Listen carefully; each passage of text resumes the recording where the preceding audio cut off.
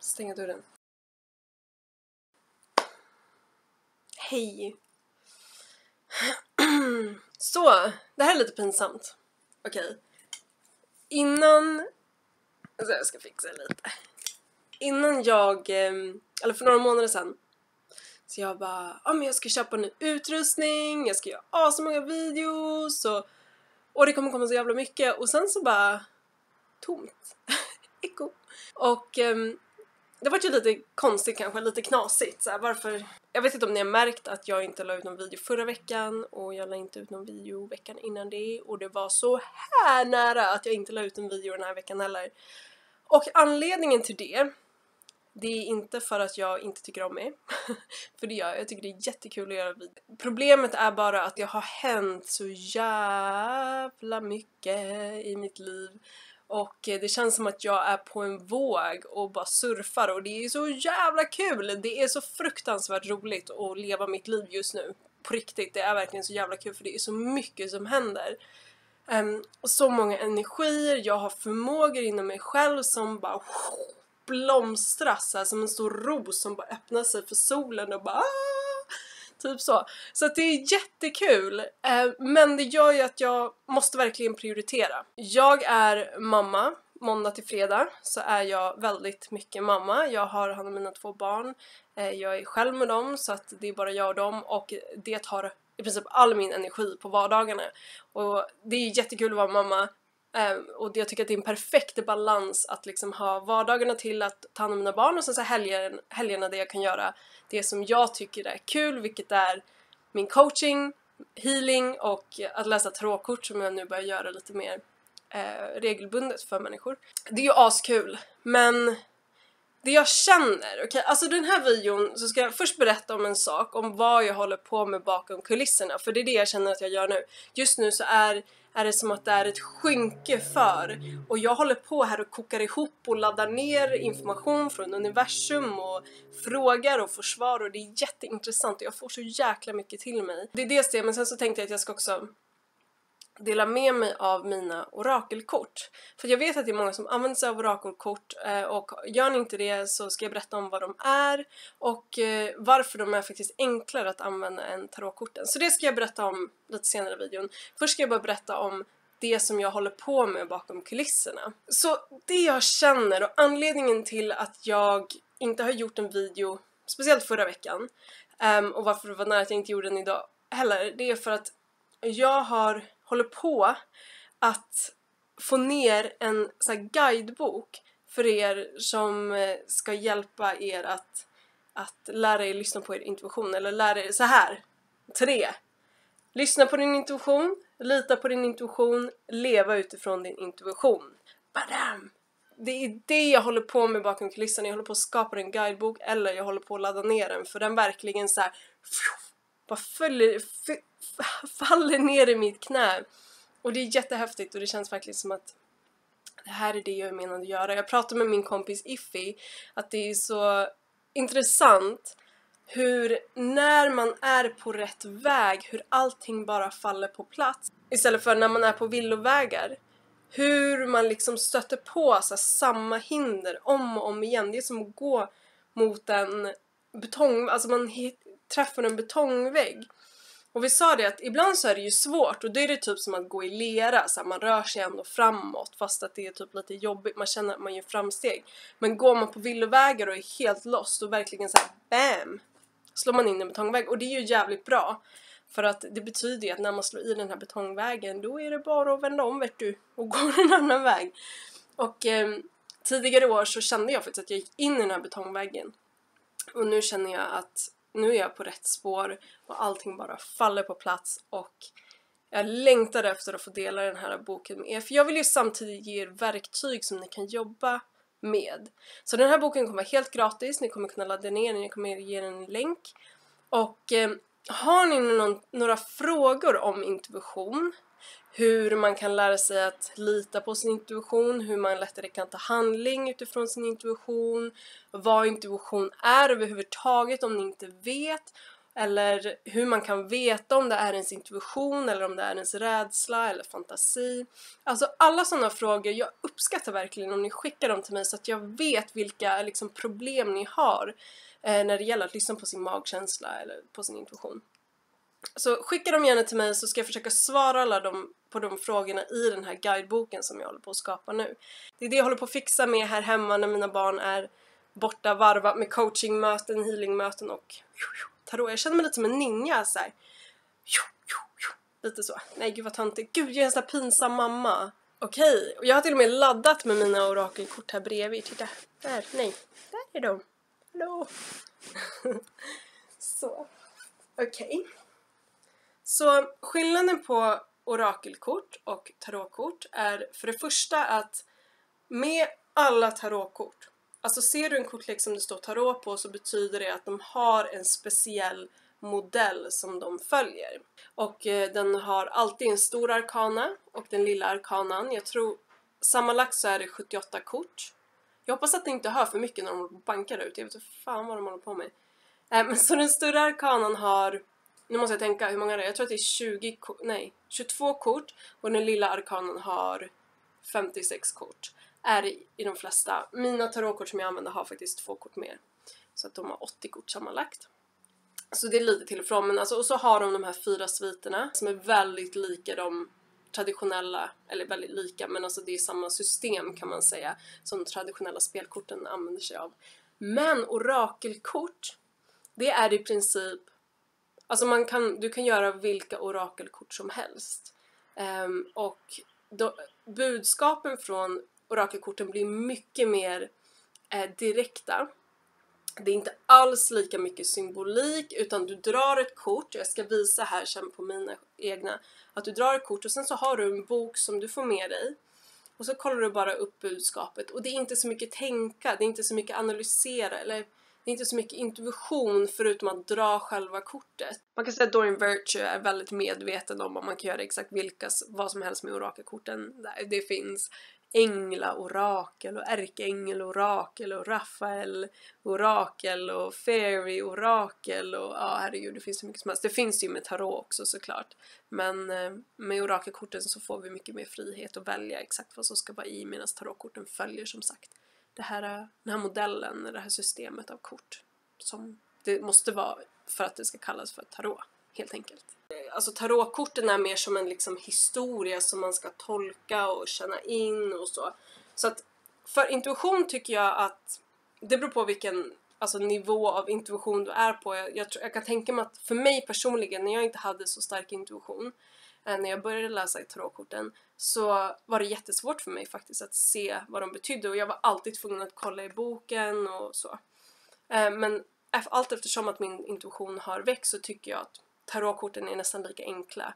Alltså det är verkligen en smaksak. Jag älskar personligen att blanda tarotkort med orakelkort och ni som har fått läggningar av mig, ni vet att jag brukar lägga några, av de flesta tarotkorten så drar jag oftast en arketypskort. Så jag ska börja med att visa de som jag har. Och de första orakelkorten jag har är de här. Eh, som heter Archetype Cards. och de är av Caroline Miss. Hon är en riktigt bra författare och kolla upp hennes böcker om ni inte har gjort det. Eh, och de här korten är alltså arketyper. Arketyp, jag älskar att jobba med arketyper. Det är ganska invecklat att förklara exakt vad arketyper är men hur jag använder mig av de här korten det är för att när jag lägger tarotkorten så tar jag ett sånt här kort liksom och lägger det över så får jag en känsla av den här energin som ligger bakom um, själva läggningen. Vad är det liksom i kärnan? Så de här, jag känner det som att de här arketypskorten de tar mig längre ner, till och med ännu längre ner än vad personen som jag spår åt kanske ens är medveten om. Det är sånt som liksom ligger i det undermedvetna. Så därför tycker jag att de här är otroligt kraftfulla för jag får liksom komma in på djupet och jag älskar att komma ner på djupet. Verkligen, det är så jävla nice. Så jag ska visa ett exempel på en av de här. Jag kan ta ett kort här. Den här till exempel, som jag får upp väldigt ofta nu också. Rebell. Så det den förklarar det är den här underliggande energin. Så när du tänker på en rebell till exempel så tänker du på ett visst sätt att prata, att vara, hur man kanske ska klä sig och all, alla den här som du föreställer dig att en rebell ska vara, det är den energin som det här kortet pratar om. Och vi har ju också, alltså i tarotkorten som, vi, som jag pratar om, så har vi ju väldigt många arketypiska energier också, det är ju nästan bara det. Men det här ger liksom det här extra umf, det blir väldigt, väldigt klart och tydligt. Så de tycker vi om, så de har jag. Arketypskort, de använder jag nästan varje gång jag gör en läggning för jag tycker de är så jäkla bra. Sen har jag mina tarotkort. De behöver jag kanske inte visa nu för jag skulle prata om orakelkorten men jag visar dem ändå, de här är så jävla söta. Så de jag spår med de heter The Bohemian Animal Tarot tydligen. Lite så. Och jag älskar dem för det är en sån blandning mellan typ lite djur, lite bohemiskt, lite gypsy och lite söta.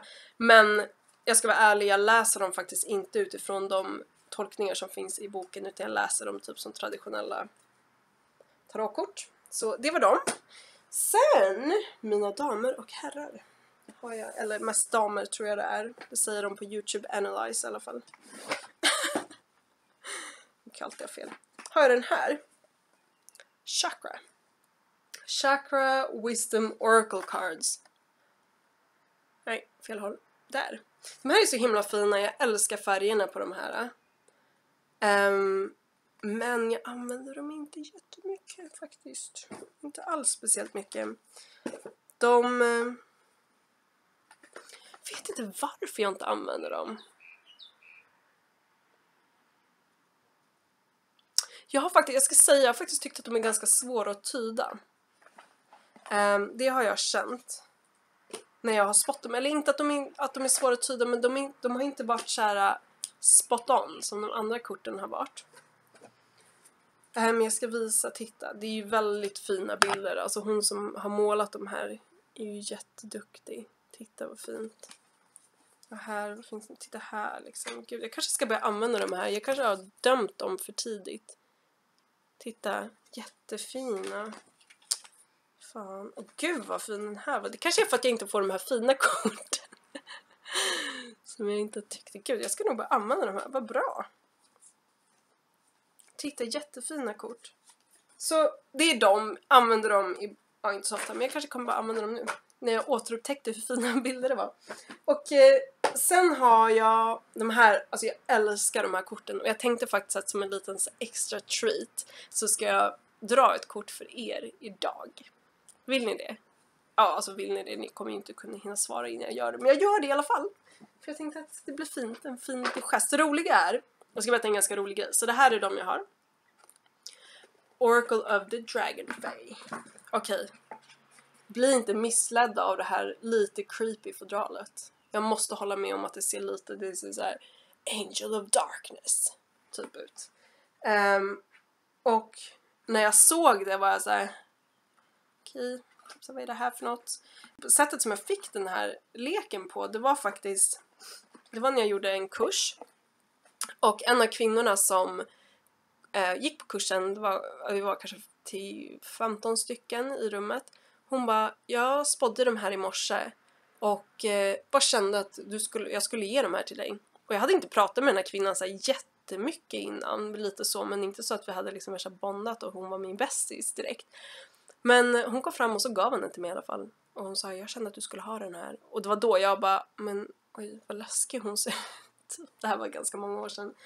Men när jag började använda de här korten, jag bara oh my god, alltså de är jag älskar dem. Det roliga är att hon som har gjort dem, Lucy Cavendish, hon har gett ut en ny utgåva och fodralet, hon har ändrat framsidan på fodralet så jag undrar om det är fler som typ har reagerat på att de ser lite så här mörka ut. Eh, och jag tycker att det, det, kan ha varit lite missledande för de är, jag älskar de här korten, de är så himla spot on, alltså jämt.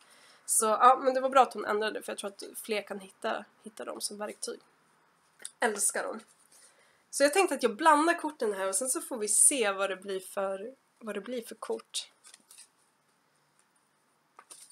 Och som sagt, jag tycker att är man intresserad av att lära sig att spå men man typ inte orkar lära sig spå i tarotkorten.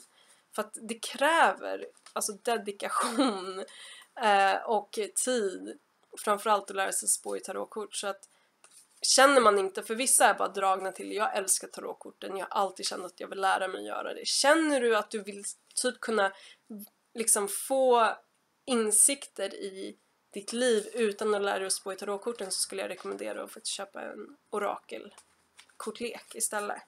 Oj. Går lite sönder, de liksom fastnar i varandra och det är det enda som är lite dåligt med den här.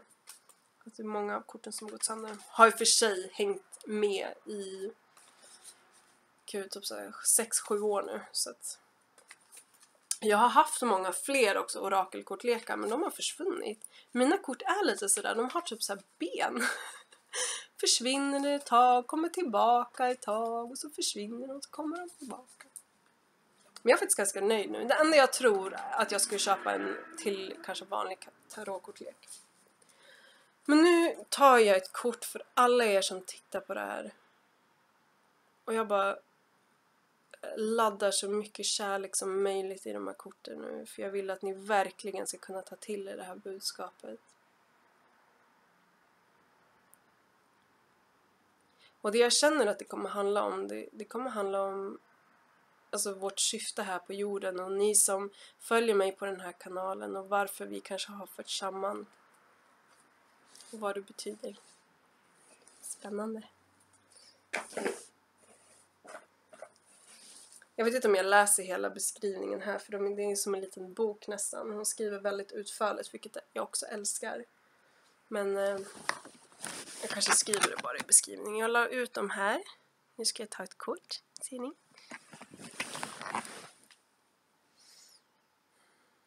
Och så jag gör, så jag lägger ut kort. Jag ska bara berätta det snabbt för jag har tänkt på det flera gånger att jag ska berätta hur jag väljer ett kort. Alltså hur jag vet vilket jag ska välja. Så jag lägger ut alla korten så här. Och sen så slappnar jag av i mina ögon och mina ögon bara boom, lägger sig på det kortet som jag ska ta. Och det tycker jag funkar bäst faktiskt för mig. Och nu gjorde den det exakt på det här kortet. Så vi ska se vad det är.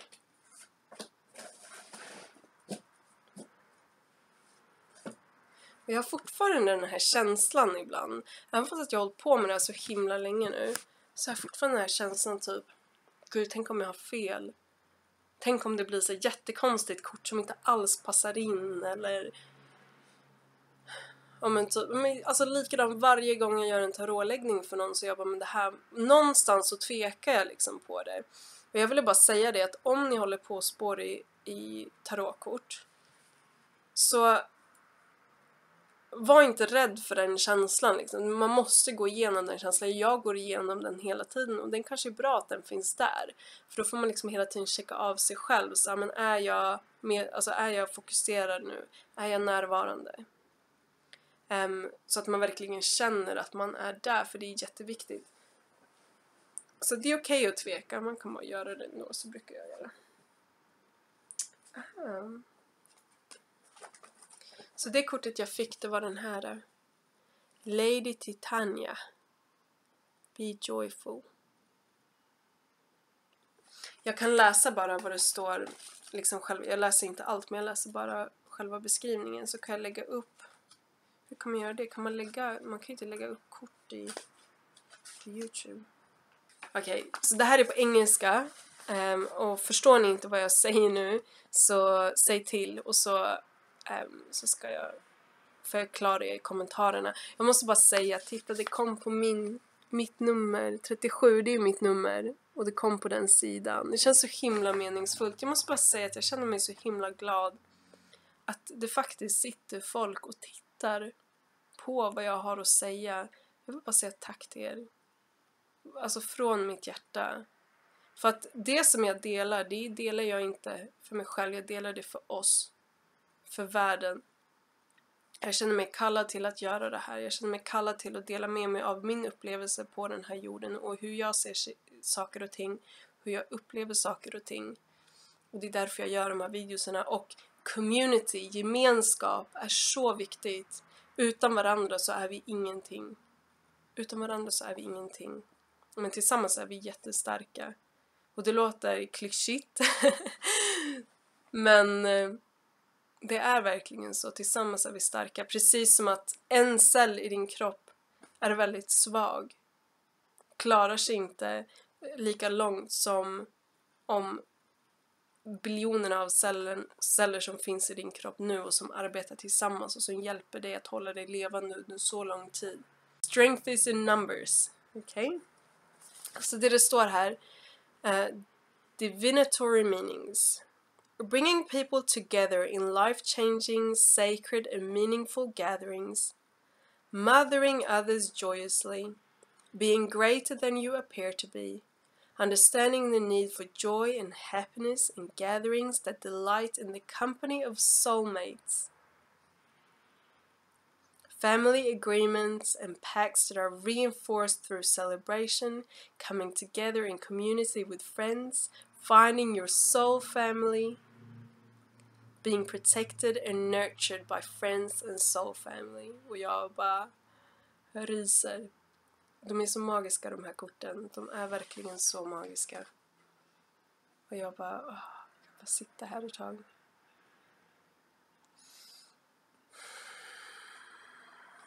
Tack. Ni är så speciella. Gud. Okej. Okay.